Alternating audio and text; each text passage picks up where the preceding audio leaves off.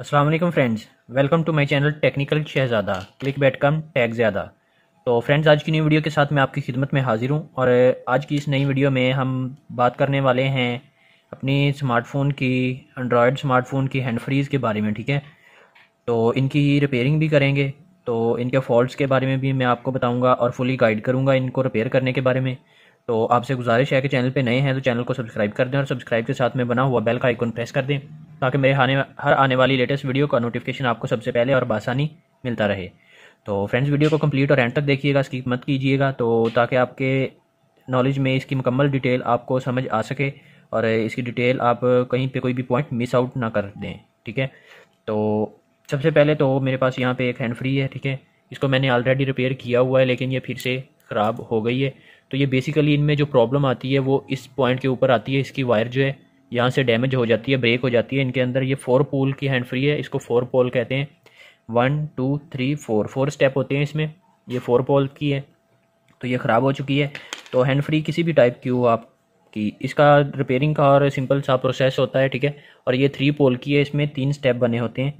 तो इसमें माइक इस्तेमाल नहीं होता, ये माइक के बगैर होती है और फोर पोल वाली माइक के साथ होती है, इसमें माइक होता है। तो यहाँ पे ये भी दो टाइप की हैंड फ्री मेरे पास पड़ी हुई हैं। ये बूफर वाली, ये बर्ड्स वाली हैंड फ्री हैं और ये सिंपल जो है आईफोन के डिज़ाइन में, ठीक है? तो हैंड फ्री बेशक वो किसी भी टाइप की हो, किसी किस्म की भी हो तो उसका रिपेयरिंग का प्रोसेस सेम ही रहता है। तो मैं इन दोनों को आपको रिपेयर करके दिखाऊँगा और इनके बारे में डिटेल आपको बताऊँगा। तो यहाँ पे ये जो एरिया होता है इनका, ये ब्रेक हो चुका होता है। तो इस एरिए में से हम इसको एक इंच के करीब छोड़कर कट कर देंगे ताकि हमारी डैमेज वाला पॉइंट जो है इसमें निकल जाए, ठीक है? तो इसी तरह से ये जो दूसरी हैंड फ्री है, इसमें भी हम एक इंच का एरिया छोड़कर इसको कट कर देंगे। तो फ्रेंड्स इसके बाद ये जो इसके अंदर 3.5 पॉइंट mm का जैक मौजूद है, ठीक है? इसको हम किसी भी कटर वगैरह की मदद से इसको ऊपर की इसकी जो परत लगी हुई है, ये इसको प्लास्टिक वगैरह को कट करके ब्रेक करके इसको हम निकाल लेंगे, इसमें से अलग कर लेंगे, ठीक है?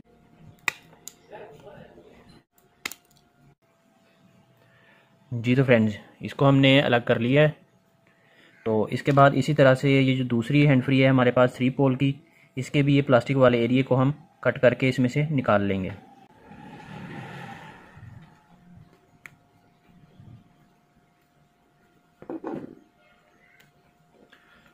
जी तो फ्रेंड्स आप देख सकते हैं, इसको भी हमने इसमें से निकाल लिया है। तो इसके बाद इसके हम पॉइंट्स के ऊपर बात कर लेते हैं इनके ये स्टेप की। कौन सा स्टेप जो है, कहाँ पे, कौन सी वायर कहाँ पे इस्तेमाल होगी?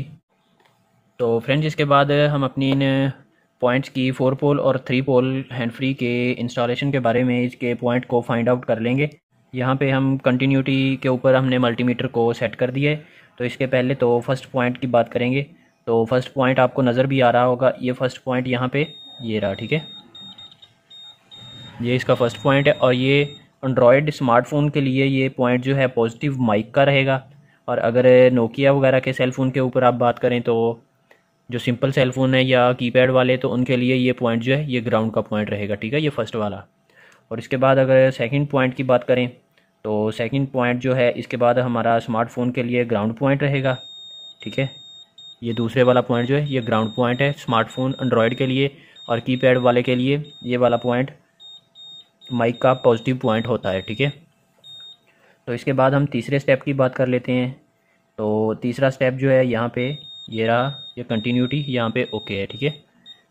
तो ये वाला जो है स्पीकर का लेफ़्ट या राइट में से कोई भी आप इसके ऊपर सोल्ड कर सकते हैं। ये तीसरे वाला स्पीकर का एक पॉइंट है। और जो लास्ट फोर फोर्थ पॉइंट है, ये सबसे एंड पे, यहाँ पे आप देख सकते हैं इसकी कंटिन्यूटी ये हमारे स्पीकर के लेफ़्ट राइट में से एक पॉइंट तो ये ये दो वाले जो पॉइंट हैं, ये स्पीकर के हैं। इसके बाद स्मार्टफ़ोन के लिए ये वाला माइक का नेगेटिव और यहाँ पे माइक का पॉजिटिव ठीक है? तो इसी टाइप से ये जो थ्री पुल की है, इसका फ़र्स्ट पॉइंट जो है, ये ग्राउंड है, ठीक है? तो ये ग्राउंड पॉइंट ये आप स्मार्टफ़ोन या किसी भी सेल फ़ोन के साथ इसको लगाएँगे तो ये ग्राउंड पॉइंट ही रहेगा फ़र्स्ट पॉइंट जो है। और इसके बाद जो इसका सेकंड पॉइंट है, ये यहाँ पे आप इसकी कंटिन्यूटी चेक कर सकते हैं। ये सेकंड पे है। और ये जो लास्ट का थर्ड पॉइंट है, ये सबसे लास्ट पे, ठीक है? तो ये कुछ इंस्टॉलेशन इसी प्रोसीजर को हमने मद्देनज़र रखते हुए इसके वायर्स को सोल्ड करना है। तो फ्रेंड्स सबसे पहले हम फोर पोल वाली की माइक वाली हैंड फ्री की इंस्टॉलेशन कर लेते हैं, इसकी सोल्डरिंग कर लेते हैं। तो इसको आपने अपने सोल्डरिंग आयरन से इस प्लास्टिक के एरिए के ऊपर रबड़ वाले एरिए के ऊपर हीट देना है, उसके बाद इसको खींच देना है तो ये आसानी से उतर जाएगा, ठीक है? तो इसमें से वायर्स जो हैं आउट निकल आएँगी। तो यहाँ पे फोर वायर हैं। इनमें से जो गोल्डन कलर की है, वो आपके लिए ये ग्राउंड पॉइंट है। हमारी हैंड फ्री के three point five M M jack के लिए। और जो और जो रेड कलर में है, वो माइक का पॉजिटिव है। और ब्लू और ग्रीन कलर जो है स्पीकर के दो पॉइंट होंगे। तो फ्रेंड्स इन वायर्स के ऊपर लेमिनेशन वायर होती हैं ये। तो इनके ऊपर से सोल्डरिंग जो है, ये उतारनी पड़ेगी। इनके ऊपर से जो पेंट है इनका तो हमें सोल्डर की मदद से यहाँ से उतारना होगा। हम इसको हीट करते हुए यहाँ पे सोल्डरिंग करेंगे तो आप देखेंगे कि यहाँ से ये एक पॉइंट जो है, इसके ऊपर सोल्ड रुक चुका है तो इसका पेंट उतर चुका है। तो इसी टाइप से हमने ये चारों पॉइंट्स के ऊपर सोल्डरिंग कर लेनी है। जी तो फ्रेंड्स आप देख सकते हैं, इनके ऊपर सोल्ड हमने, इनके वायर्स के सिरों को सोल्ड कर लिया है। तो इसके बाद हम फोर पोल वाली पिन को इस्तेमाल करेंगे। फ्रेंड्स सबसे पहले तो हम इसके ऊपर माइक का पॉजिटिव का जो पॉइंट है फ़र्स्ट पॉइंट के ऊपर, इसको सोल्ड करेंगे।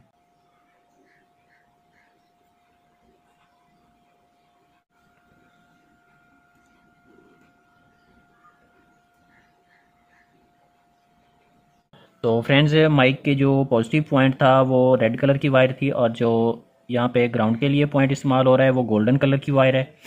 और इसके बाद ब्लू एंड ग्रीन कलर की जो दो वायर्स होंगी वो हमारे स्पीकर के पॉइंट होंगे। इनको हम लास्ट वाले दो के ऊपर सोल्ड कर देंगे। कहीं पे भी लेफ़्ट राइट ये कहीं पे भी सोल्ड हो जाएँगे स्पीकर के दोनों पॉइंट तो फ्रेंड्स यहाँ पे आप देख सकते हैं, हमने इनको सोल्ड कर लिए। फ्रेंड्स कई बार ऐसा होता है कि हैंड फ्री के किसी एक स्पीकर से वॉइस आती है, किसी एक से नहीं। और कई बार माइक ऑफ़ हो जाता है माइक काम नहीं कर रहा होता। और कई बार तो ऐसा होता है कि दोनों स्पीकर में से वॉइस आती है, लेकिन सिर्फ़ म्यूज़िक की। ठीक है, सिर्फ़ म्यूज़िक आ रहा होता है।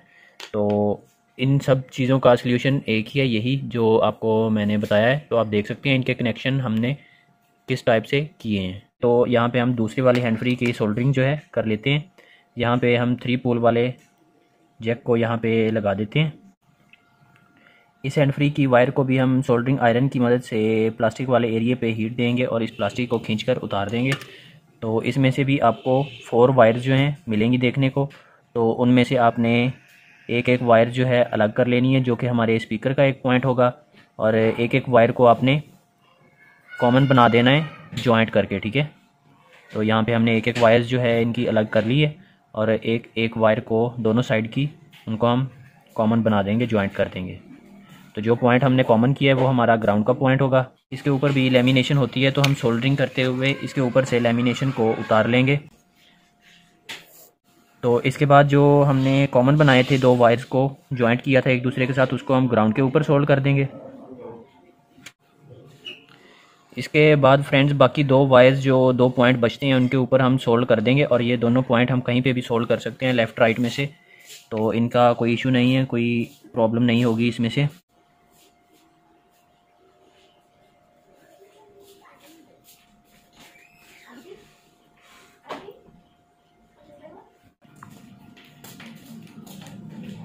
जी तो फ्रेंड्स हमारी ये सोल्डरिंग जो है, इसकी कंप्लीट हो चुकी है।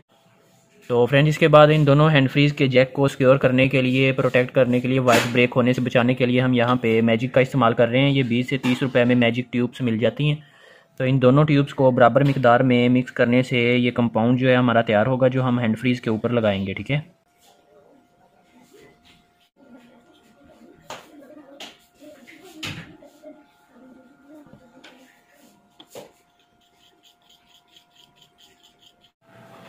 जी तो फ्रेंड्स ये कंपाउंड जो है, तैयार हो चुका है। इनको हम अपने हैंडफोन हैंड फ्रीज की जैक के ऊपर एयरफोन के जैक के ऊपर लगाएँगे, ठीक है?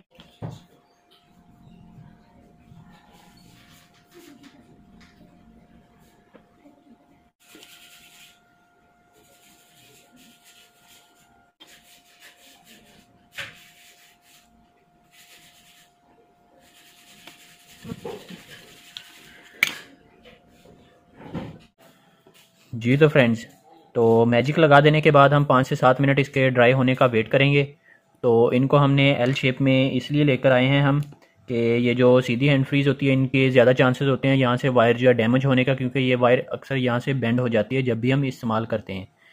तो एल शेप में देने का मकसद इसके इस्तेमाल के दौरान में बेंड होने के चांसेस कम रहेंगे और ये कम चांस होंगे इसके दोबारा से डैमेज होने के। तो इसको हम टेस्ट कर लेते हैं। जी तो फ्रेंड्स आप देख सकते हैं, हमारी ये हैंड फ्री बिल्कुल परफेक्ट वर्क कर रही है। तो इसके बाद हम दूसरी हैंड फ्री को भी चेक कर लेते हैं एयरफोन को। तो फ्रेंड्स ये भी सक्सेसफुली वर्क कर रहे हैं। तो यहाँ पे मैं आपको इनका साउंड सुनवा देता हूँ माइक के पास लाता हूँ इनको।